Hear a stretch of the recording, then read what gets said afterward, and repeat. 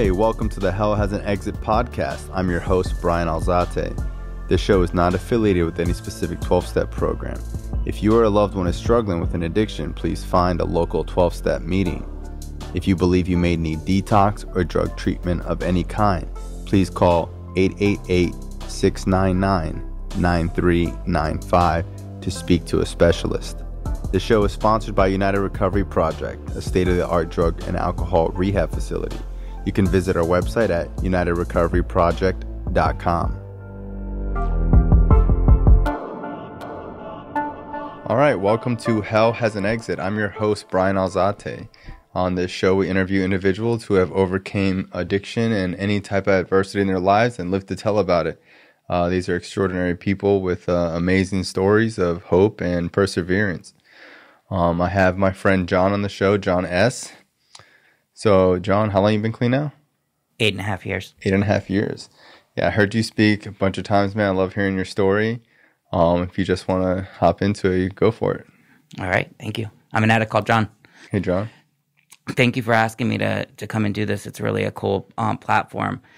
I was that addict that didn't think that it was possible to get clean. You know, I thought I was going to live that way and die that way. It just did not seem possible for somebody like me, you know, and, and in recovery, we talk a lot about bottoms, you know, and we talk about like where did we get to our lowest point and and did that moment is it the breaking point is mm-hmm. that moment that made you decide that you wanted to get clean and stay clean and you know it's just not my story like you know i and I, think that's like a, a misconception. You know, like everyone asked me, like, how'd you get clean? Like it was like this one defining thing that like changed. But it wasn't like that for me. Like I didn't really want to get clean. I don't think I wanted to get clean until I had like two years clean. I was really like, you know, like like there's still a part of you that wants to use. Like you don't ever destroy that part of you. You know, like it's just always kind of there. For sure. Um, for me, at least. Yeah. No, I, I identify with that completely. For me, it was this thing of that. You know, I didn't use until I was older, and I and I say this, and it's kind of a funny thing when I say it, is I didn't take my first drug like intentionally to get high, right? Like we learn things in recovery. We learn things like that alcohol is a drug, right? So I definitely was that addict that excluded alcohol. I didn't think that that was really a drug, you know. But I was like a goody two shoes. I didn't even smoke weed. Like I didn't get into the drug scene. And, you know, I remember the day, the very day that I took the very first substance that I wanted to get high. How old were and, you? I was 30 years old. Wow. 30 years old. And so I'm a registered nurse. Me and this um, friend of mine, we went to do a travel assignment in um, Longwood, Florida, right? Um, in Fort Myers, Longwood. We were working these 12s, back to back 12 hour shifts, staying in a hotel, making a bunch of money. And it was our night off when we went to go to the movies. Like, I thought that's like a normal thing to do on your night off, right? And we're at this movie theater and she looks at me and she says, you know, I just wish you weren't such a mama's boy and you knew how to have fun. And it like hit me in a dagger and I was like, I can have fun. I definitely can have fun. What are you talking about? And she's like, no, no, no, not the kind of fun that I'm talking about, right? You know, she didn't come right out and say, you know, I'd like to party. Let's let's party. She didn't say that to me. She was like, all right, come on, let's go. We walked out of this movie theater. For me, that was wild because I had never like gone to a movie theater, paid for a ticket, and then just abandoned the mm-hmm. theater. Like I thought, wow, like that was wild. and we go, we go to this bar, and we're sitting there having a drink, and she hands me a pill under the table, and I'm like, what is it? And she says, if I tell you, you won't take it and I don't know what happened at that moment. And you're a nurse, like you have extreme knowledge of pills. Yes, so and I, but it was it definitely wasn't a pharmaceutical looking pill, right? Oh, like it okay. didn't look you didn't like know what it was. Yeah, by looking it was, at it, it was like pinkish purple colored. It was you know, it turned out it was ecstasy, ecstasy. right? Mm-hmm. Yeah, so I popped it in my mouth. She doesn't tell me what it is, and I don't know why. Like at that very moment, I thought I'm gonna be daring. So about a half hour later, she's like, let's go. We get in the car, and I'm driving down Federal Highway and Port St. Lucie, and all of a sudden, the wheels don't feel like they're on the ground anymore. And I look in the mirror at myself, and my eyes are just dilated like cat eyes. Mm-hmm. And I'm like, holy shit, I feel good. I feel great. And she took me to a Walmart right? I'd never, this is just a date, it's, it's in 2000, right? Mm-hmm. It's the year 2000. And I'm in a Walmart. I had never been in a Walmart before. They had not made their way down to South Florida yet. And Mountain Dew Code Red had just come out. And I said to her, like a little kid, I need to get a Mountain Dew Code Red. Like, and I was all hyped up. I didn't know what the feeling was, but I can tell you that um, she brought me to this guy's house who was a friend of hers who they were going to party. And we went there and they got me on a rug and they started massaging me. And the next thing I knew, I was getting a blowjob. And I just remember thinking from a guy. and I remember thinking, oh, everybody knows. The secret's out, right? Like it's just the three of us. But I'm like, the secret's out. And people didn't know you were gay at that point. So I hadn't I hadn't openly come out. I really? Yeah, I didn't tell anybody. Like I mean, it's super obvious for people who know me. Like it shouldn't have been a big surprise, but mm-hmm. in my mind, I really believed like if I kept this story up of that I was raised by all women. My biological father wasn't a big influence in my life, and I was raised by women. So, I mean, I managed to get somebody to marry me. And I believed at 21 years old, I believed that if I got her pregnant and had a wedding and nobody would think anything, mm-hmm. everybody would buy the story. And at that moment, like the switch went on for me that night.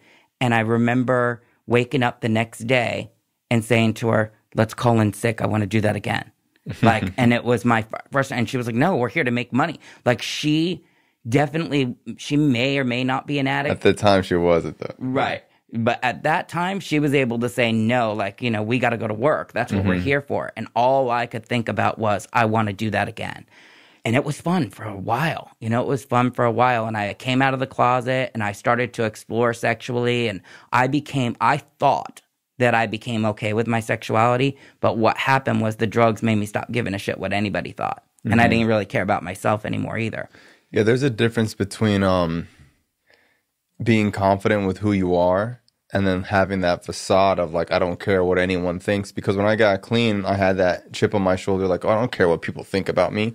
The reality is is that I had such low self-esteem that like I couldn't care, but like I've learned in recovery like I do care what people think about me. I just care what like my mom thinks, I care what my close friends think. I think what I think cares, like how I feel about myself matters, you know?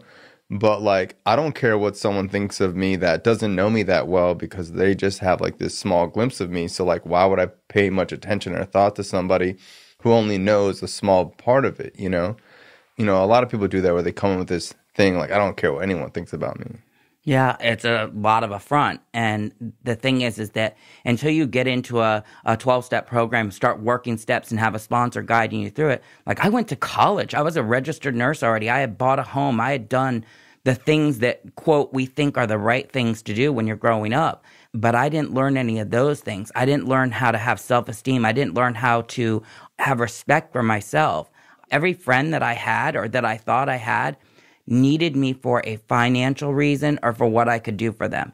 It wasn't until I got here in recovery that I found people who wanted to be around me because I had recovery. They wanted to be around me because um, I was passionate about the 12 steps and I was passionate about staying clean. And that was not something that I didn't, I definitely didn't come here for that, mm-hmm. right? I did not come uh, to get clean thinking that I'm going to become somebody's sponsor or I'm going to want to carry a message. That was not a plan at all.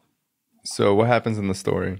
Okay, so from there I started to to party a lot. You know, lots of weekends going down to South Beach. You know, I found after hour clubs I didn't even know they existed. You know, here I am. I'm going to a club at 2 a.m., starting at 2 a.m., mm-hmm. because that's just to get started. And the next club's going to open up at 5 a.m., and I'm going to stay there till 10 a.m. and come out with, you know, sunglasses on and thinking I'm the coolest kid. All of a sudden, you know, I've got friends, I've got um, this social life that seems amazing. And then I started to have what I refer to as suicidal Tuesdays. I just couldn't get up and go to work. I depleted all my serotonin, just didn't feel good at all. And somebody introduced me to opiates. And for me, I started out with Percocets, five milligram Percocets, you know, and then I found myself taking two, three, four, five. Now I'm taking 10 at one time. And so 50 milligrams is what I actually need. And somebody said to me, you know, you can go get these 30 milligram Roxys. They call them blues. And I was like, where? Somebody gave me the name of a pain doctor. Mm-hmm. I went there. I remember going into that appointment and coming out like in shock that I was spending a ton of money buying them on the streets. And here I went into this doctor's office and I like left 150 bucks. I think $200. I mm-hmm. left with a bottle of Xanax, 200 and something um, 30 milligram Roxy's, liquid Roxy to put under my tongue, patches. Like, you would have thought for sure I'm ready to check into hospice, mm-hmm. but this is the kind of stuff they were giving me. Um, then you would think, being a nurse, that I could have played the tape through and I would have said, oh, these are going to be physically addicting. I am going to get sick when I have to. That never crossed my mind at all. I just thought to myself, I feel great on these. I see no reason not to take them every single day mm-hmm. for the rest of my life. What happened with your marriage? So um, we didn't actually um, stay married. We got a marriage license and crazy. So it's it, I wasn't using back then. I was still young. I was in the process of building a career, and I just remember that I was miserable. I was so unhappy. And I remember my mom talks about this all the time. I remember being on the edge of my mom's bed crying and saying, I can't do this. I can't be married. I can't have a baby. I can't do this. And she said to me, Did your mom know you were gay? So she did, but I never told her. You know, I never came knew. out. She yeah. just knew. She said she knew since I was a little kid, mm-hmm. right? But she kept saying to me, You don't love Tanya. And oddly, I did. I loved her as a person. I just wasn't in love with her mm-hmm. and I wasn't heterosexual guys. I was not sitting around thinking, oh, I can't wait to have sex with her. Mm-hmm. Right. That was not my thought. Like, uh, you know, I share this with sponsees all the time because they only know me as this. They know me as an openly gay man who's been clean. They've been clean. Yeah. Even myself, like I can't even imagine you not being gay. Right. Right. Yeah because also because I became so open about it. It was not like mm-hmm. I mean, I do think that there was a time where I was marginally passing it off because I would try to watch my mannerisms and I was more quiet and shut down. But I share with my sponsees all the time that they were like, "You could have sex with her." And I was like, yeah, yeah, they can't imagine, right? Like that. And I was like, yeah, I said, they're like gross. Yeah, so like your kids, right? So I remember going to see um, Interview with a Vampire with Tom Cruise and Brad Pitt. Of course, it's great. Right? And, and Rice wrote that. Yeah. And I came home and I jumped up on top of Tanya and I was like, just best sex we ever had. And she went to go moan, and I literally put my hand over her mouth and said, Stop it, you're ruining it. because in my mind, I was fantasizing about someone else. Yeah. And like, and that taught me also that the mind's really powerful. Like I could convince myself that I could do something that in my heart I didn't really want to do. And so I forced that situation. Um, bottom line was is that um, you know she was newly pregnant. We did a rush job at everything, and I sat on my mom's at the end of her bed crying that she redecorated the bathroom and I was hysterical like I can't live like this she was you know doing what women normally do they move into your house they start yeah. to decorate and I was just like I can't and and I still, you know, that wasn't the end of dating women for me though. Like I still tried to date women and I would still try to convince them. You know, I remember having sex with somebody and them saying to me in the middle of it, Are you sure you're not gay?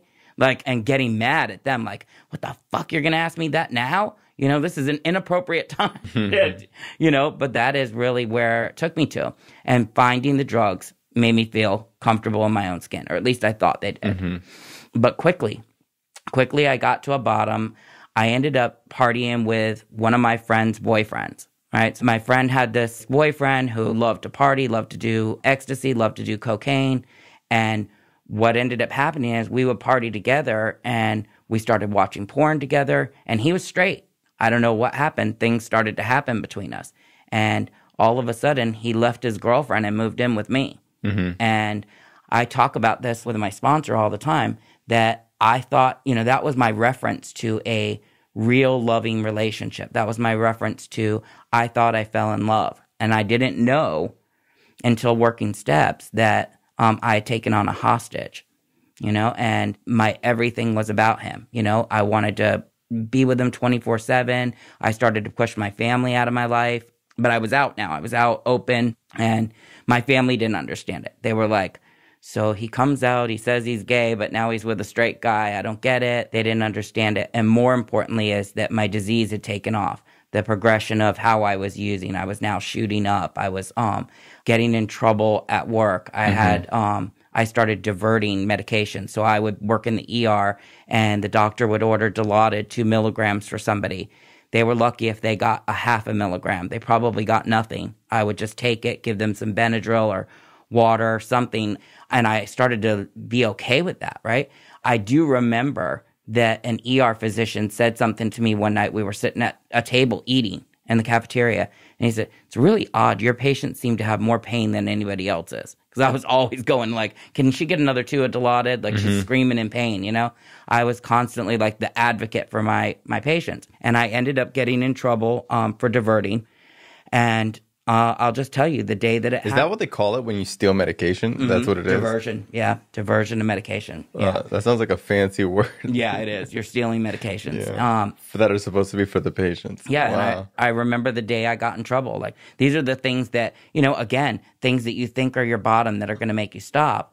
I was on my way to work. I'm at my mom's house, and she looked at me and she said, "You are so high. You are going to lose your job."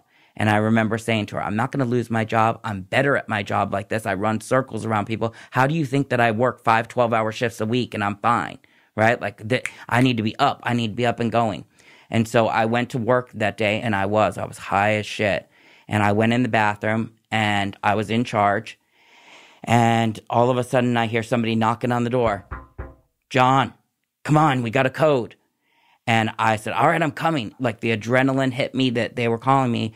And I pulled my pants up, ran out there, grabbed some gloves, and jumped up on a stretcher to start CPR. And somebody tapped me on the back and they were like, Hey. And I'm like, What? And they're like, Get down. And I'm like, What are you talking about?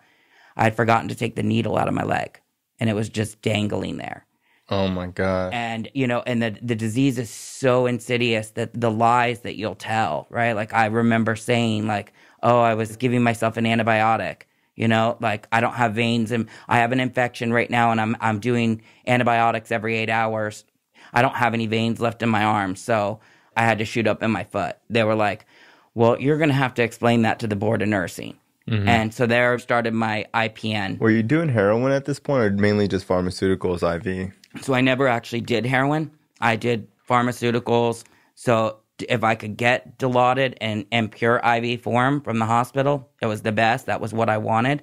I had this fear. I had this weird fear, not a normal thing that I don't think addicts normally have, mm-hmm. but I had this fear that if I smoked crack, did heroin, or smoked meth, You would die. that I would die or I wouldn't it would get so bad for me. And not because I thought I was better than or only because I thought I'm gonna love it so much. Because I there wasn't a single drug that I ever did that I went, yeah, I don't like that one. You know, I liked them all. It didn't matter what they were. I remember um, the same girl who got me the to do ecstasy for the first time. She also got me to do ketamine, and she her husband said, um, I just snorted it, right? And her husband said to me, You know, you can shoot ketamine up. It's a total different type of trip. And I remember the words coming out of his mouth. The threshold to death is very small margin.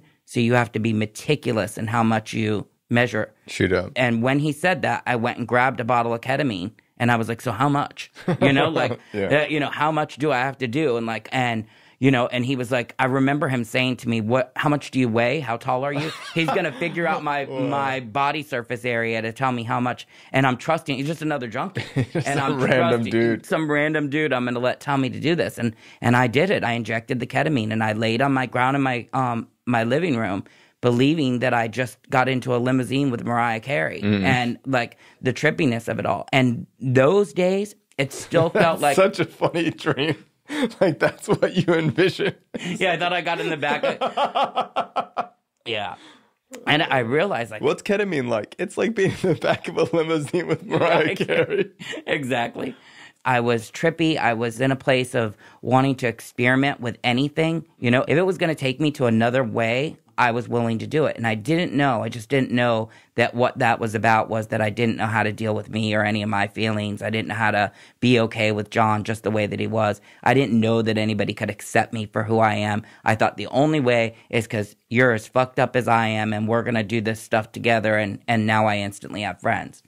So things that, you know, I ended up having to go into a five year program called IPN, Intervention Project for Nurses.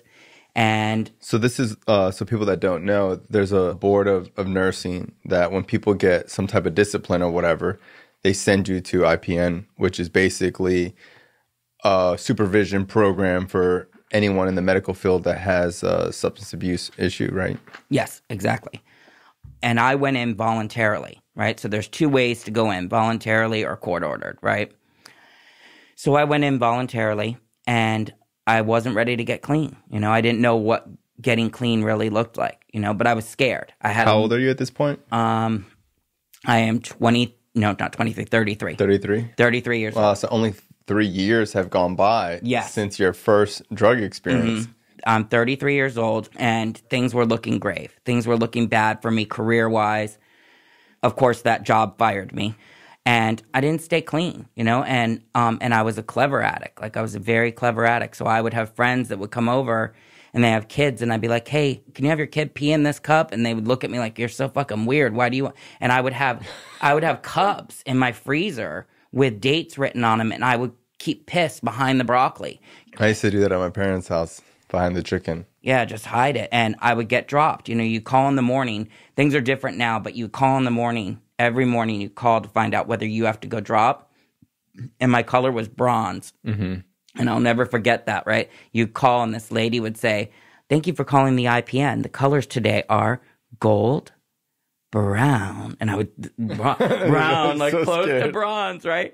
You know, and that randomly you get selected probably once to twice a month and you never knew when and you'd have to go in and drop. And I would try to like, first I started like trying to time it. Like I think there's an algorithm to this and I can figure it out. I'll know what days I can get high, what days I can't get high. What I didn't know was there weren't any days that I was able to not get high. I just got high every single day. I didn't know how to not get high. And so um, I started to take people's urine with me. Like I'd have it with me just in case, you know, wake up in the morning, go to work. I would heat it up, put it in a coffee cup, put it in the coffee cup holder in my car, leave it in the hot sun in Florida all day. And if they called me and I had to go to LabCorp to, to drop at any given time, I was ready to go. So when I was using, I had like the exact same thing. I think for like a year, my routine was wake up, strap piss to me, grab my phone, grab like some money or whatever. But that's like what I needed to leave the house. And I used to like tie a string around my waist and I'd keep it in like a Visine bottle or like a, an Afrin bottle. And then I went to the ski store and I bought mitten warmers. And if I had to drop that day, I would warm them up, like get them going and tape them to the side of the Visine bottle. And it's like, this is like normal. Wasn't even like a pain in the ass. And then we get clean and like, we don't want to call our sponsors. We don't want to like go to meetings. We don't want to work steps. But like taping urine to my body for a year, a year was like totally normal. Yeah, it's hard work. It's hard work to stay sick. Yeah. You know, um, so I managed to get through five years of IPN, right? And it's very unusual. My story is, um, Wow. yeah, my story is three times, three times in a program that's five years long. So, um, first time, 2000. It's 2000. a five year long program. it's a five year long program. you completed it the first time I completed it with faking your urines, Faking but you're urines. using it the whole time. Yep. They couldn't tell that you were using.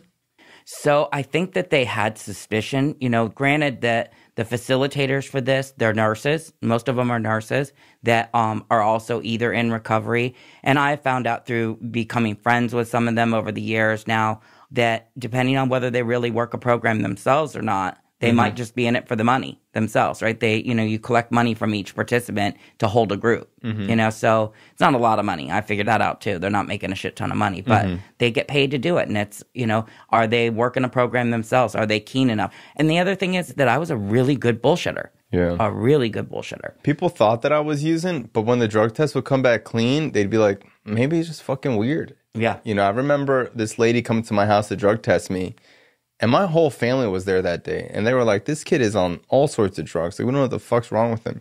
And when she came back, she was like, well, his drug test came back negative.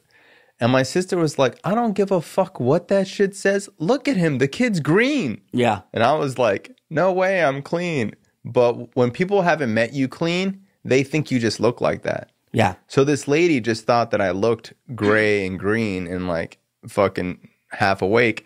My family has known me clean and they know this isn't me, you know. Yeah, for sure. Well, even the lady that was the facilitator for IPN had called the IPN, right? At any given time, if they're suspicious, like you come once a week, my meeting was once a week on Wednesdays, right? And I came in and um and if she's suspicious, she can call the IPN and she could say, Hey, I want to drop John. Right? He needs to go and drop immediately, right? They give you one hour. They know that like people have all the tricks in the world. They give you one hour to get to the lab. Well, she called and she was suspicious of me. She asked for me to go to the lab and um to drop, and I had never gotten this order before. Go and you have to do an observed urine. They're gonna watch. Oh, me. they don't watch you normally. They don't watch you normally. It's a regular LabCorp a quest. Yeah, you know, super easy to fake. Yep. So I walked in and the lady says, um, it says you need an observed urine. And I said, yeah, I'm freaking. I'm thinking I'm caught. I'm done. There's no way that I could do it. I still brought urine with me thinking Mm-hmm. somehow I'm going to get through with this. And this is, you know, it's one of those things that addicts are sneaky. I was there. They were getting ready to close 20 minutes before they were going to close.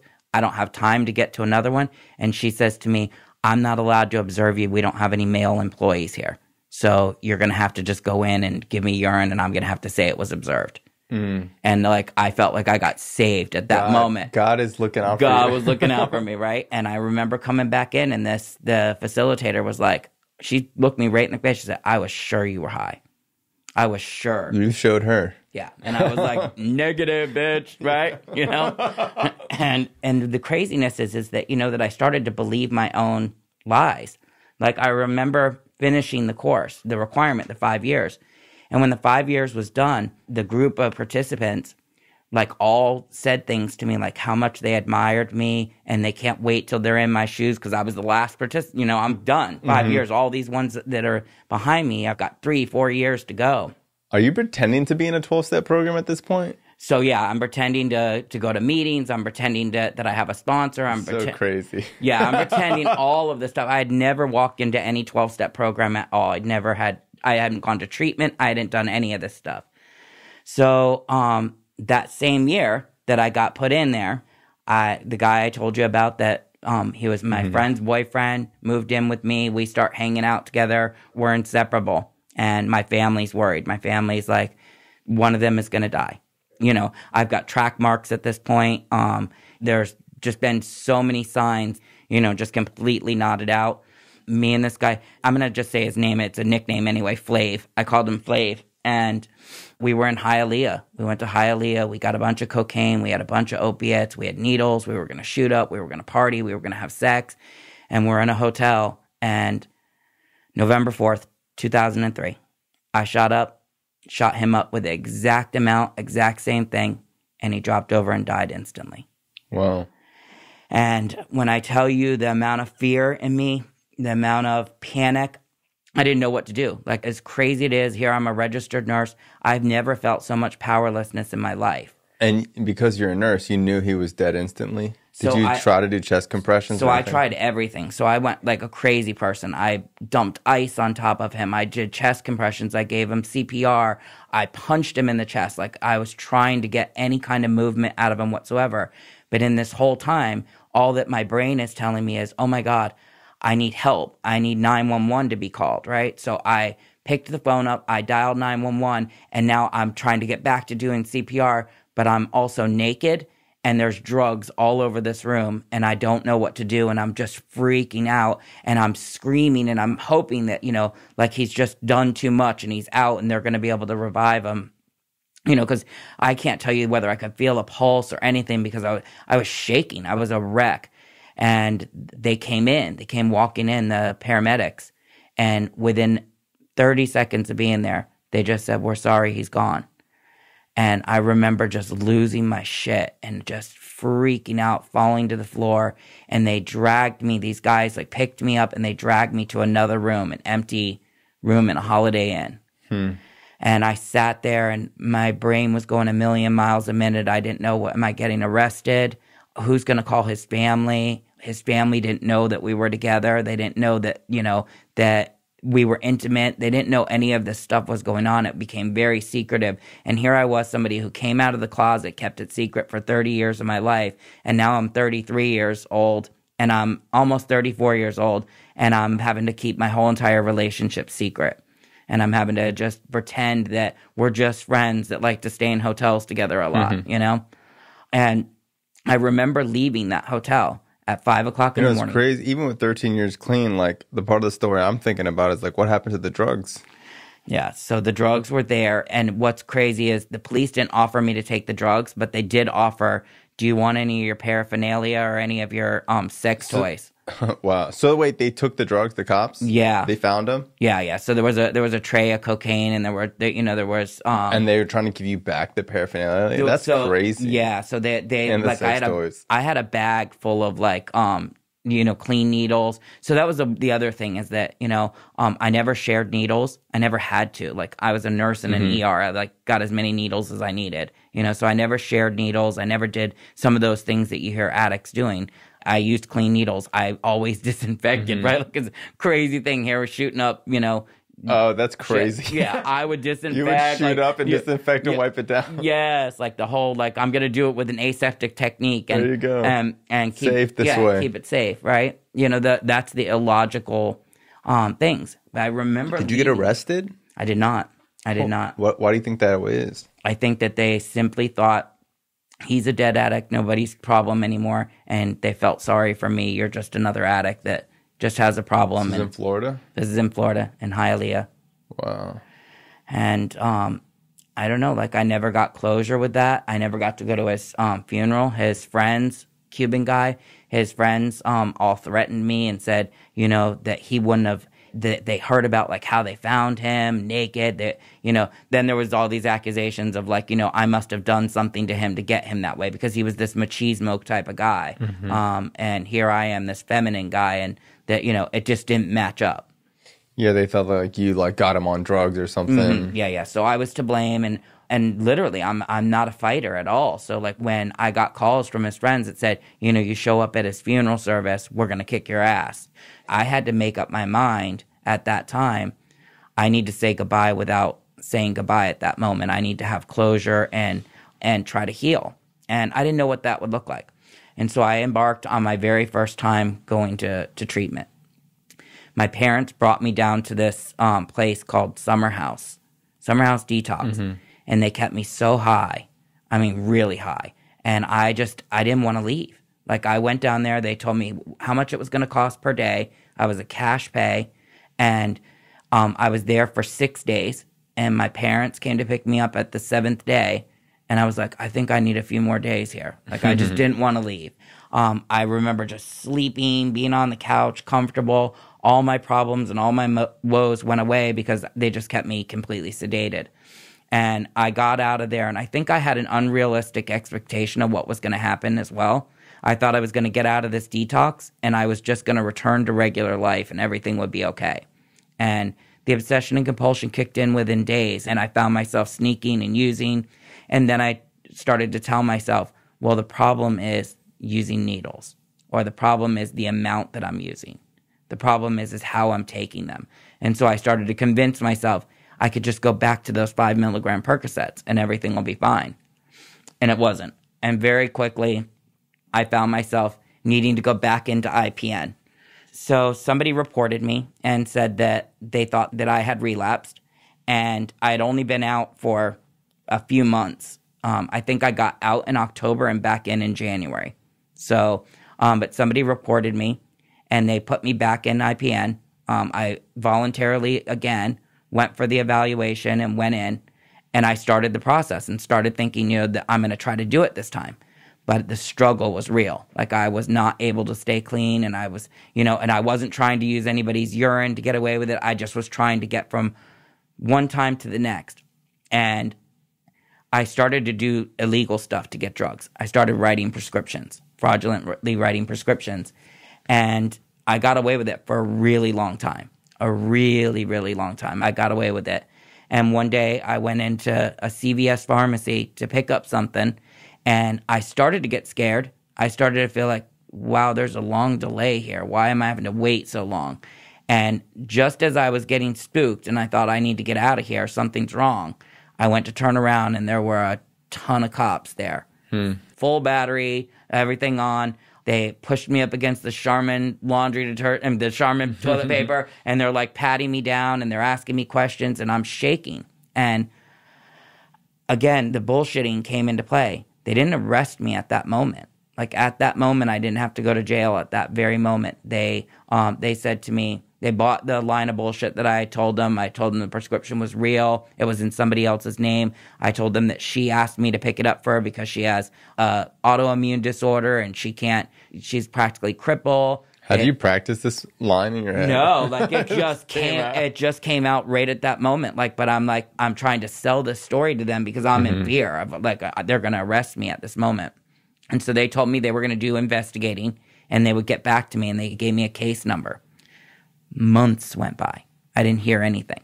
And I'm like, oh my God, I've gotten away with this, right? I stopped writing the prescriptions out of fear, right? Like I can't get out there and write any more prescriptions, but I'm positive I've gotten away with this. So I'm going to my IPN meetings, I'm putting together usually about eight to 10 days clean, right? Mm-hmm. Struggling, detoxing hard, dope sick, but I'm staying clean. And then I would use, get a little relief for a weekend, and then start that whole process over, this nightmare.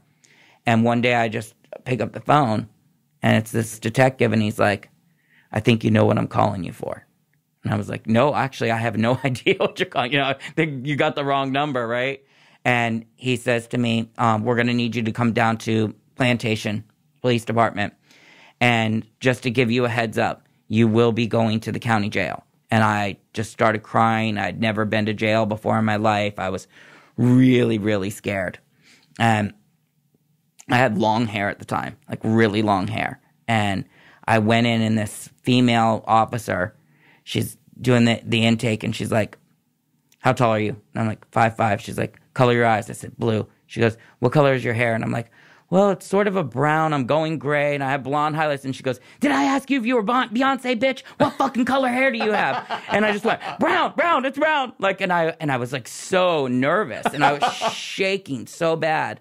And my brother, my brother convinced me to to tape drugs to underneath my balls. Right? He's like, Your brother convinced you to do this? yeah, my brother's like he's been to jail a bunch of times. He's like, you know, tape some drugs to the underneath your balls. They're not going to check there. You're going to need them when you get in there. You're going to get dope sick. He's like, the most you're going to be in there is 24 to 48 hours. You'll get bailed out, but you need to have something in there. So I'm, I have this experience with this woman to asking me if I'm, you know, not, I'm not Beyonce bullshit, and I'm nervous. And they tell me that they're going to take me over to Cooper City to book me. The crime happened in Plantation, so I'm like really confused. Why am I going to Cooper City?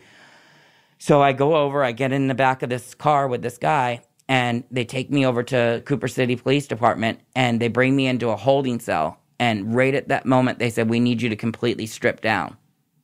And I'm freaking. I've got drugs taped underneath my balls. And I'm like, Oh my God, I don't know what to do. So as I'm pulling my pants off, I decide that the best thing to do is to pull the drugs off at the same time And eat them? and I ate them. So, but I couldn't. I literally, I put the whole tape with the drugs and hair in my mouth, and I swallowed, and I went like I couldn't get it to go down. And the cops like, "Are you okay?"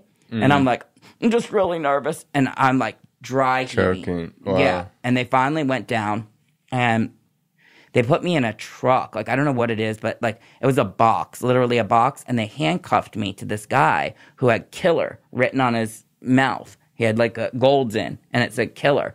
And I am just shaking. I'm like, I, I'm How much nervous. drugs did you just eat? A lot.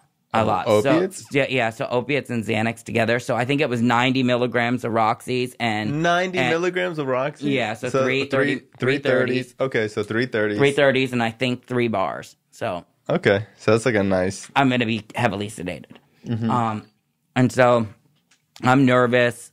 They, And then you get the ball hair that amplifies it. yeah. And so I'm nauseous. I'm shaking. And, and, and literally, my first experience ever being arrested. I get to the Broward County jail and I don't know any of it. I don't know the system at all. I'm not street smart. Mm-hmm. I don't know any. So I have a $250,000 bond and I call up my family and I'm like, mortgage my house, do whatever you need to do, get me out of here. I had no idea that normally the next day your case gets in front of somebody and they usually lower your charges. But we posted it all. We posted it all, got me the hell out of there. The next day they lowered the charges from trafficking oxycodone to four felony counts of prescription fraud. Difference of one was a ten thousand dollar bond, the other one was two hundred and fifty thousand. Wow. And we posted for the two fifty. So when you post bond, is 10% of that, Ten right? percent, yeah. Wow. Yeah. So, and you can't call the bondsman up and, And say, like, "Oh, so they yeah." they lowered it. I don't need your money anymore. It's done." Needless to say, so that's war story jails. Um, another place where you think you're done, you're at your bottom. I remember my aunt Janet. We posted the bomb with my house as collateral, but we had to come up with money. I think it was five grand. We had to come up with, and my aunt Janet came up with it, and she lent it to me. And my parents said this to her: "Believe me, he's so scared. Believe me, he's had enough of this. He's never going to use again. If you get him out of jail, he wants to live a better life." And I think somehow in my mind, like I believed that too at the time. Like I believed, like, yes, get me out of here. I'll do anything. I, This is really it. this is really it. And they let me out on New Year's Eve. That's the night I got out. Right. I got, I went in on the 30th and um, New Year's Eve the next day, I was getting let out and I didn't have a phone with me. I didn't have any money. I went to the Publix on 17th Street, 17th and um, Andrews. Walked into the Publix crying and said, Could I use a phone? And called my family to come and pick me up. And all I could think about the whole entire time was, I know where one pill is. I know where one is. I'm dope sick. I need the relief. I need, and I knew that I was, the disease was so active. There was no relieving me of it. But that caused me, because of the arrest, I no longer could be an IPN as a volunteer. So they No, said, court ordered. now I'm court ordered. So now I have a permanent mark on my nursing license that it says disciplinary action. Yes. Link to disciplinary action. Yes. Click the link and it starts to tell you about how I wrote prescriptions and got arrested. Crazy. You could still have a license after that. I didn't think that I was going to be able to have a license, right? So um, this led me to a little bit while longer of using, a little bit while um, more of thinking that that I could do this, that I could still do it on my own without any help, right? And I think that part of the reason that I started out saying that, you know, we talk about the bottoms is that, you know, the day that I got clean, nothing special was going on. Nothing special was going on. Like it wasn't one of those moments of like, okay, that's enough. This really happened. I just woke up feeling like I've done enough to everybody. I've hurt everybody. I stole money from my aunt. I did things that I just didn't think I could live with anymore. So I had this big plan to kill myself. And I thought, for sure, I'm going to do this. And I will tell you 100%, I know this for a fact, I had zero fear of dying. Like, I thought that it would be a good way to go out, right? It would be a decent way to get out of this world. And so I had planned to go kill myself. And I went to this guy's house who, um, I'll just say as a caveat, had sold me fake drugs before. And I went to his house again, Wow. you know, because I never learned the first time. And I go there and it's July of 2012. And I go and I buy 10 Roxy's. And I'm shaking so bad. I'm planning to. He was selling no- fake Roxy's at the time? So this was the second time I got sold. Fentanyl Roxy's or just like, No, no, fake. Like Just straight literally, like- they're just fake. There's nothing in there. oh my God. They're the worst. What a bad guy. Yeah. So July, I'm shaking, and my thought is, I'm just gonna do one of these. I'm gonna snort one of these, and if I snort it, the shaking will stop, the dope sick will stop, and then I'll shoot the other nine, and that'll for sure kill me. And I'm gonna write this note to my family, let them know what a piece of shit I am, and that you know I stole Aunt Linda's money, and she, it should be federally insured. She should get it back. Just let them know what a piece of shit I am. So I've got this giant plan to to do this, and I go and I snort this one, and it turns out to be Fab laundry detergent and bubbles are just coming out of my mouth and I'm Oh in my a car God. With no air conditioning and I'm sweating and it's July and I look at the other 9 of them and think maybe they're not all fake. And so I do another one. Oh my God. And the same thing and I you know, I, two times I learned the lesson. I was like, okay, all 10 are fake. I'm not going to get high off of these and I'm out of money and I have no hustle left in me. I'm 42 years old. I'm as beat up as a person can get beat up. And I keep thinking to myself, can I press the accelerator on the car and just go right into traffic and end this? And I broke down crying and I called my mom and I said, um, I'm going to go into treatment. And I didn't have insurance. I didn't have money. I didn't have connections. I didn't know anybody. I didn't know anybody. I couldn't call up and say, hey, can you get me a scholarship? I didn't even know that was a thing. I didn't know that there was a possibility for that. I just knew that the only place you could go if you didn't have insurance was BARC. Right. And I was like, okay, I'm going to go there. And I've been there once before. And I don't know, like, Did you do the residential program too? Yeah, so I did. I did Would the you see me there? huh? Because I used to do a meeting. I've done Yeah. meetings there for years. That's yeah, crazy. So I did see you there. I didn't know you then. yeah. I saw you and I um and one of the people and I tell him this all the time um was Walter. Yeah. I would see Walter there. He does like the mornings, I think, right? Uh huh. And I and I had seen him in 2004, the first time I was there, and then again in 2012, and I'm like, This guy's still here. wait a minute, something's going on. What is happening here? How is this possible? Right? Like, and it was like blew my mind. I was like, how is this even possible? You know? So, um, I don't know. Like, I started to, to see that there was some kind of hope there. Um, but I was at that bottom, right? That I didn't know was a bottom at that time. And I remember going into the detox, and what had changed for me was I didn't give a shit if they gave me any medication. I didn't give a shit if they gave me any phone calls. I didn't care about anything. All I thought was, if I don't make it out of this, I don't want to live, right? And I remember guys like you coming in and bringing in an H and I, and I had this thought like, oh my god, I'm gonna have to become a dork and freaking bring meetings into treatment centers and carry a message. And like that was my introduction to um, 12 steps, and um, and I knew, like I knew that I wanted to do this. And I have some experiences from there, from that, and how it influenced my recovery and where that went off to is this woman that was my counselor. Once again, I felt like I got put in a box. You don't belong with everybody else. She handed me a list, a meeting list, and she circled all these LGBT meetings. In our area, there's one every single night of the week. And she said to me, You should go here. You'll find people like you who can help you. But what I heard was, and she didn't say this, this is the disease. Yeah. What I heard was the other 120 meetings a week aren't meant for you. You won't fit in there. Don't go there. Wow. These seven, they're for you, right on target. Wow. And I know that she didn't say that, and I know that you know that that was my disease after doing some step work.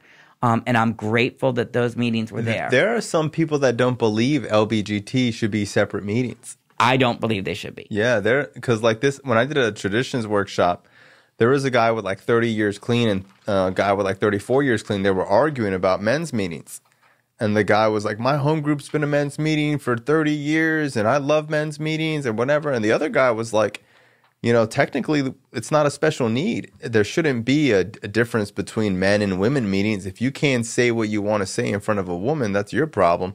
But we shouldn't have meetings that are for specific sexes or race or religion or any of that. It'd be no different than having a black meeting, you know, or a white meeting or whatever. So if you have to have a men's meeting, how does this better serve the newcomer if they're looking for a meeting and they're a woman and they walk in? Yeah, they might not tell them to leave, but it's going to be uncomfortable, you know? But at the same time, I do understand that like some people, you know, might feel more comfortable at an LBGT meeting or something, you know? Yeah. So I have I have this belief system. So I'm super grateful that they were there. Those meetings were there. Had they not been there, I'm not sure that I would have stuck around. I was mm-hmm. so uncomfortable with who I am. I'm there talking about, you know, that I had a boyfriend who died and the crazy thing is is so my boyfriend died in 2003. I didn't get clean until 2012. If you would have asked me, because time was in a, I was in a warp, I thought it was a year or two ago. And when I had to sit there and go, oh my God, a- almost a whole decade has gone by, right? Like almost a whole decade has gone by. I was the opposite. I felt like three years ago was like 10 years ago. It was like last year or something when I was using like, that's yeah, crazy. So it was. It felt like it was just happened to me, and so I was dealing with all that stuff. I think that you know, had I not been able to ask a gay man to sponsor me, I think that those things were probably factors that helped me. But what I did learn is in that year, I felt like I was in a bubble. I felt like, oh, I go to these seven meetings, and I heard this girl share at a meeting, and she had, she was a young girl, you know her, um, and she shared, and she said, Narcotics Anonymous is bigger than your home group. Narcotics Anonymous is bigger than your area. She's like, it's a worldwide fellowship. And I thought to myself, I only know about these seven meetings right? I only know what are you talking about? Like I only know about these seven meetings. And so I started to like explore and go other places and to go to meetings that are considered mainstream meetings. And what I found out was when I went there, none of the people that were in those seven meetings that I went to, they didn't come to the mainstream meetings. And I started to say, where are they getting their recovery from? Where are they getting their information from? If they're in the same in the room with the same people and they're there, and so uh, you know, for being a gay man, I get a lot of flack about that because I truly and honestly believe. I tell my sponsees, I have, happen to have a lot of gay sponsees. I have some straight, which is amazing too, but I have gay sponsees, and when they ask me to sponsor them, I do two things. I say one, I work one fellowship.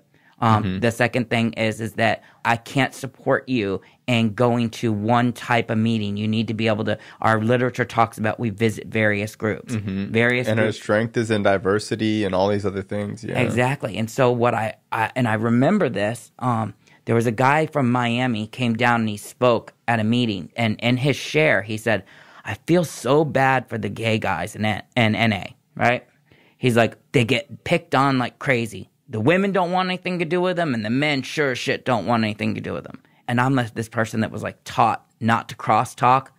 I couldn't help it. Like I, as soon as he was done sharing, I raised my hand and I said, "You know, that's not my experience here." Mm-hmm. I said, and that kind of message is not our message. I said, when I decided that I could go to a mainstream meeting and I didn't need to be boxed into a special interest meeting, what I found is that the men love me and the women love me even more. Mm-hmm. And and I found acceptance wherever I was at, and I needed that. I needed to grow, and I needed to feel like that there was an opportunity to actually recover. Absolutely.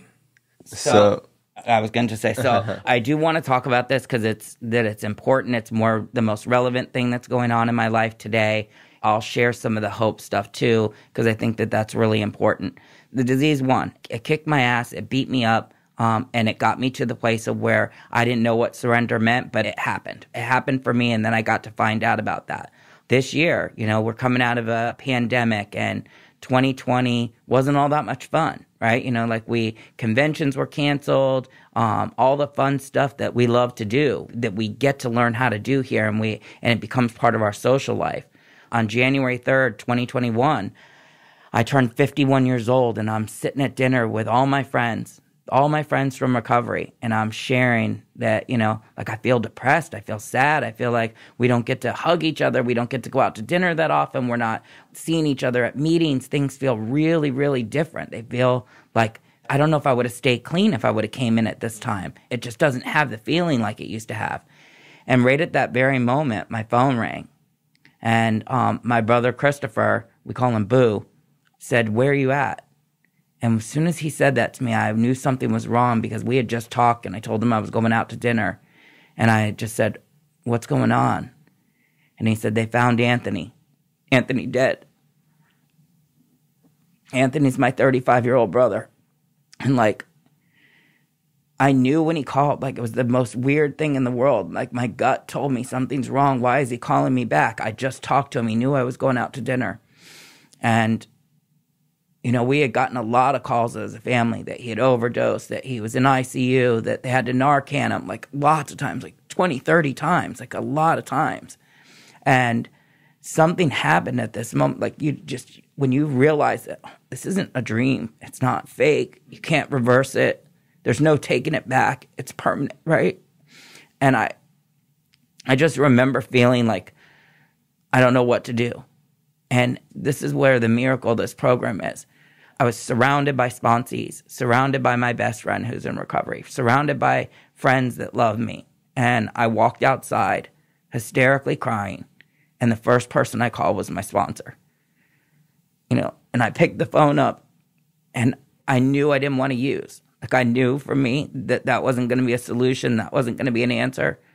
And as I was driving, my sponsee drove me to my mother's house to go there. Like I was too much of a wreck to drive my own car.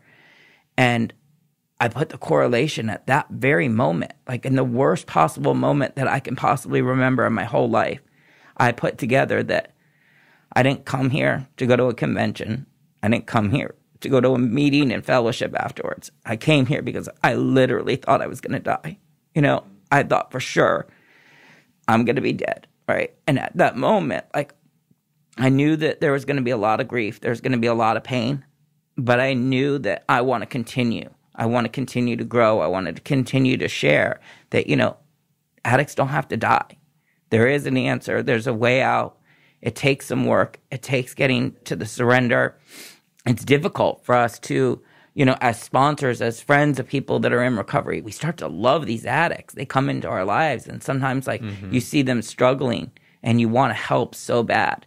You know, I, I have all these sponsees who've got years and years clean now. I have grand sponsees. Like, it's crazy that I have made an impact and helped other people stay clean, but I couldn't help my own brother stay clean. And I will tell you that, you know, my sponsor, my sponsor Bill, when Bill was sponsoring me, used to say to me, he's going to get you to use before you get him clean. Yep. And I believed him. I did. I put some distance and I know that I'm not powerful enough to get anyone clean and I know I couldn't save him. I can't even say that if I could reverse things and go back in time, would I do anything different? I can't honestly say that because I did what I thought was the best move and I put some distance between us, mm-hmm. some healthy distance. You know, he'd call me and the minute the phone rang, I believed he must be calling me about money. Yeah. He must want something. And just recently, my brother spent a lot of time in prison, and I found a letter. You know, I had a bunch of uh, I don't know if you know what JPay is, but I had a Of bunch course. of email JPay ones, right? But there was something special about I found a physical letter with his writing, Mm-hmm. and in it, like in the letter, he says, "I can't wait to get out and go to meetings with you. I, I'm going to have 25 months clean. I can't wait to go to the World Convention with you. I can't wait to do all these things." Like, he saw my light. I gave my parents back their kid. I gave my other siblings back their brother. I gave my nieces and nephew back their uncle.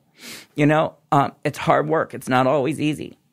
And amazing things started to happen for me. Really amazing things. Like, you know, so in the amount of time that I've been clean, I've done, it's eight and a half years. August 1st, I'll have nine years. I never left the country. 42 years old, I got clean. I never left the country, right? I have been to, the first place I went to was Hong Kong, then the Philippines, I remember we went to Hong Kong. yeah. Hong Kong, Philippines, Switzerland, glacier skiing in Switzerland. Wow. Right? Like it wasn't even winter. Mm-hmm. And they took us up this freaking mountain that was so far up in the clouds. And I skied glacier skiing. You had to hold on to a rope and they drag you up the mountain on your skis. And then you just turn around and go down the mountain. You know, no ski lift to get up there. It was a crazy experience to Italy. I um two years ago I went with a sponsee to Paris just because we could. Just Wow. him and I. I'm in France and I go to a Narcotics Anonymous meeting and I get asked to speak. That's cool. You know, and like these experiences. They translate it? Yeah, so I, I, I spoke in English and they translated in French and it was amazing and the welcoming I got was amazing. And it happened really organically too. Like I walked up to the meeting and the guy said, Are you from America? And I said, Yeah. And he said, How much clean time do you have? And I think I had six years then and, and he was like, You're our speaker. And I was like, Okay, why not? This is cool, you know? Um I didn't have any dreams and thoughts to do stuff like that, to do fun stuff, to to do that. And Yeah, you you, know, thought you were going to get clean and be a dork. yeah. Well, I also, you know, when I went into treatment, my nursing license was suspended. My home was in foreclosure. Things seemed really grave for me. And I thought, I think I can handle making a latte at Starbucks. That's the mm-hmm. kind of job I'm going to get. I'm going to get That's what keeps people clean. yeah. I'm telling you, whenever I hear someone with like grandiose ideas when they get first get clean, it just makes me want to like throw up. I'm just like, oh, mm-hmm. like no, you're not starting a business. You're not gonna make all this money. Like, go work at Starbucks, serve ice cream, do something simple, because they don't understand the task at hand of staying clean. Like, it's gonna be the hardest thing you've ever done. It's not gonna be easy. Don't think you can handle something else that's gonna be somewhat hard. You know, like make it as easy as possible for you because you're fighting a battle that um statistically people don't win. Yeah. You know, you're fighting something that they say one in a thousand people make it to a year clean, you know? And it's like uh if you go in there thinking that you're gonna be that one, but you don't want to do more work than everyone else, it's not gonna happen. It's just like when you run a marathon, you know, people who've never ran a marathon before, you know, they go in overconfident and overconfidence kills people. You know, I don't go to meetings because I think it's a fun thing for me. I go to meetings because, you know, with 13 years clean, I still think that I need them. I still think that I'm there to save my own ass. I'm not there to help everybody else. Like my parents think that, you know, my parents think that I go to meetings cuz like I help all these people, but I go to meetings because I need it. You know, this is what I need to do because I believe when I'm, you know, active in my recovery, I'm the best version of myself. Yeah, for sure. I know. It's given me. I hated that saying. You know, when I got in here, people would talk about a life beyond my wildest dreams. I mm-hmm. hated that saying. Like I thought it was a showboaty saying. And then I remember, I remember when I said, "Oh my God, I actually have a life beyond my wildest dreams." Right? And in my wildest dreams, did I believe that I was going to have a brother die of this disease? No.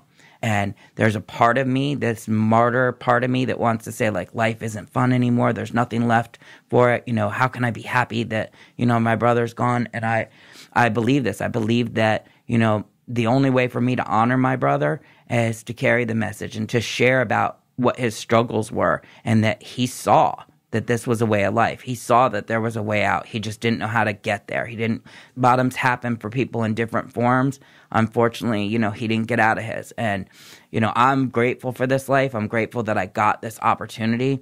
I did some amazing stuff. Like I went back to school. That was a crazy thing for me because if you would have saw me at 42 years old getting clean, I was so beat up, you would have thought there's never going to be a smile on this guy's face. There's never going to be any happy and joy. Um, it's just going to be dread. And I have more happy days than I have sad days. I went back to school. I put something in motion. It's a little crazy that I put it in motion, but I um, I did it out of fear. And fear fear can be a heavy motivator. But I went back to school because I was afraid that I was going to lose my current job, the full time job that I have now. I thought I was going to lose it, and I thought I need to have a backup plan. So I went back to school to become a nurse practitioner, and I struggled. I struggled so bad. So wait, how did you did you lose your license? You never lost your license. So I never lost it. Got suspended. it got suspended. How long did you work at Starbucks? I didn't. I never went to go work there. So Where'd you go? So I went and worked at the polls, the um the sorting ballots for ten bucks an hour. That was my recovery job. Awesome. Yeah, and I did it for a while. Like there was a recount, so like they were like, "Oh, got to recount all these ballots," and I was like, "Great, more work." Ten dollar an hour job, and I was just You think really it's true what they say that there's fraud with the the ballot counting? Sure, sure there is. sure there is. Sure, on both sides though. That's both so sides. funny. Yeah. I was really grateful to be able to have money in my pocket to buy a cup of coffee, to be able to say to my mom, you know, um, oh, here's the 70 bucks for my phone bill, rather than just her paying my phone bill, you know, just to speak about that. So I take making amends so seriously, right? Like I believe in it. My mom has never paid a phone bill since I've been clean So cool. right? Like I just attached my mom's phone. This last year, my other two brothers, not the brother who passed away, like this is crazy. We had to leave him out of it because we knew he wouldn't be able to. But my other two brothers, we decided to buy my mom a car. And we leased it. And I said to my brothers, they were like, it's really cool. And I said, okay, but guys, if we do this, it's a two year lease. Every two years, we got to get her a new one, right? Like we can't Just buy her a car for Yeah. two years and let it rot. I can't just buy her a car for two years. And they were like, no, no, we're in this. And like, we get to do that for our mom. We get to do, you know, to show up. And, you know, that wouldn't happen. If I was in the grips of addiction, that couldn't happen.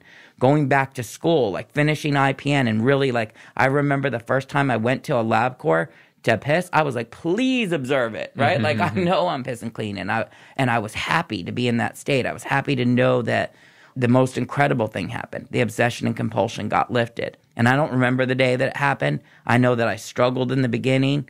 I have learned here that anything worthwhile for me, I'm going to struggle. Nothing comes easy for me. It just doesn't come easy for me. Um, going through school to be a nurse practitioner, went back to school at 45 years old, and it didn't come easy. When I went to nursing school, it was easy. Like I was the smartest kid in the class. I it was easy. Like I went through women's health and vaginas usually take me down. It took me down. I could not pass it. Like I just couldn't get it. Like I had to repeat women's health and I felt defeated. Mm-hmm. And my my current sponsor, I have a female sponsor now, and she said to me, you know, why do you think it should come easy to you? Are you doing your best? Are you willing to put the extra effort in? Like, and I had to do those things. Like, I had to re, and I wanted to quit. I remember calling her and saying, I'm just not going to do it. And she says, No, you're going to do it. You have one class left. You're going to retake it. You're going to do it. I took my boards the first time, didn't pass them. Thought, felt defeated. Like, oh my God, what is going on? And I failed them by one point. Like, they give you the score. I mm-hmm. failed by one point. So, and, and my disease took off. I'm like, I'm going to take it again. I'm going to fail, but I'm going to fail by worse. You know, like I'm going to second guess myself. And I learned spiritual principles here. And one of them is perseverance. And I learned life lessons that for me, um, they matter more than anything now. Like some of the stuff that my sponsors taught me. She always says this. It's my favorite line. She says, "Water seeks its own level." Yeah. And she teaches me. You know, she teaches me constantly about pay attention to people. If they show you they don't care about you, believe them. You know, walk away from relationships that are toxic. She's taught me that um, you know, people that matter in your life show up, and she taught me how to show up. You know, we have a relationship second to none. It's I feel so close to her love and adore her. She hates that I work now in, in treatment. um, she doesn't want me to forget where I came from and that where the lessons come from. And I've learned, you know, I came to you when it first started and, you know, um, working in treatment as a nurse practitioner. And I, I wanted to make sure that I was able to maintain professionalism. And I get to share some experience, strength, and hope, but always remembering the professional that I am at that moment. Mm-hmm. And it's become super rewarding. I love it. I feel I feel proud of myself because I love it so much. Something I had not planned on doing at all was not something that was in the cards, not part of the dream. Mm-hmm. As I start in August um, to do my doctorate, and I'm doing it in psych mental health wow. because that's the preference in that field. So, for people that don't know, being a nurse practitioner is a big deal. So, it's like you could write prescriptions. There's basically nothing you can't do that a doctor does. Like, what's the difference that an MD can do that you can't do? So not really much anymore. So Yeah. It depends on the state that you're in. In Florida, we're very we're we're very lucky. And I will tell you, so that's the part that blew my mind probably more than anything that I've accomplished. Is here I got arrested for prescription fraud, mm-hmm. and I have a DEA license. Wow. Like they awarded this addict a DEA, a. DEA license, but I earned it. I earned it. Like it did, just didn't get handed to me. I earned it. I remember, uh, you know, because obviously, like, I own an operated treatment center, and I remember the first time uh, this package came to the detox, and it had my name on it, and I was like, like, I, no one has this address. Why is something getting shipped for me? And I opened it, and I'm like, what are these? And uh, the DON was like, those are prescription pads, and I was like, wow. you know, it's like Well, and like I have a DEA form that I filled out to hold level two narcotics, you know, in a safe, and it's like, um, it was a surreal because like I knew owning a detox would allow that, but it's like a weird surreal feeling to know that I have a facility that has scheduled two narcotics in a safe that are licensed to me as the owner to be able to hold and It's I'm crazy. It's like what, you know, I, people wouldn't even let me babysit a cat, or like, you know, my parents wouldn't even leave me at home by myself. Like my parents didn't go on trips for years at one point because they were like, we can't leave Bryan alone, yeah. and um, it's a surreal feeling to have the tables turn in your favor, Yeah. and um, I always tell myself like they can turn back. Yeah, I remember when the when the prescription pads came in and and my name was on it with my license number and my DEA number and I was like this it's so surreal. I'm like this is something that's incredible. I remember being on the interview to come work there and and the question was asked, "How do you feel about prescribing um psychiatric medications?" And I was like, "I don't know. I've never prescribed anything." Yeah. this is all new for me. Like I have no, I was so honest about it. I was like, I've never, pres- I've never written prescription one yet, you know, legally anyway, you know, so I don't know, like, you know, life happens. We get through hurdles. We get monumental things that happen that we get to live amazing lives and we go through painful situations at the same time and we get through to the other side clean. Um, you know, I believe the things that were said to me wholeheartedly is that if you don't know the last day you used, you haven't had it. And if you don't know your clean date, you haven't had that yet either. How much school is left for you to get your doctorate? Okay, so that's going to be a two year program, right? Wow. It's a two year program. And so originally, what happened was I met one of the nurse practitioners who has a DNP that um, worked in the detox. And she said to me, You know, you can do a certification, it's a one year program, right? So I was like, Oh, I should just do this certification. Then I looked into it and found out, Oh, it's really 18 months, it's not a year. And I found this school in North Florida that does the whole thing and you get a doctorate at the same time. Mm-hmm. And so you literally go through a DNP program. So I will literally What's DNP? doctorate in nurse practice. So I will literally be Dr. John. Wow. Yeah. And like Have I'm, you started it yet? so I started in August. I was supposed to start in January. My brother I was supposed to start the, Mm-hmm. With your brother and my everything. brother passed away January 3rd, so I didn't start. I postponed it. But um I've got full admission and Mm-hmm. um I'm ready to go and and I feel like we never count our chickens. What is it? Count your eggs before your chickens hatch, or count your chickens where your eggs hatch. Don't ever count your chickens before your eggs hatch. Yeah. So I believe in that saying, you know, I try not to do that, but I also have learned that anything I put my mind to, um, since being clean, I'm able to I'm able to fulfill it and be there. And like so I see it happening and I want it to happen and I have found a new passion that I had no idea. Like I'm gonna tell you, I did not start school at 45, which is six years ago. I did not start school thinking, I think I'm gonna go work in a treatment facility. Mm, There was no desire whatsoever. I found this passion and I and and I love I love meeting with the clients and especially when they come in and they don't think that they have any hope or they think that it's all over for them. And I say, "Really? You think it's all over?" And I just throw them a little bit about what's happened to me and say, "Like, look where I'm sitting. I'm mm-hmm. sitting here taking care of you, and I was on the other side of that, Yeah. you know, and I know what that's like." It's amazing. Well, I'm going to put it out in the universe. Dr. John, I'm excited for you. I'm so happy that you could come out and do the show. It's really amazing. Appreciate you. Appreciate you. Thank you.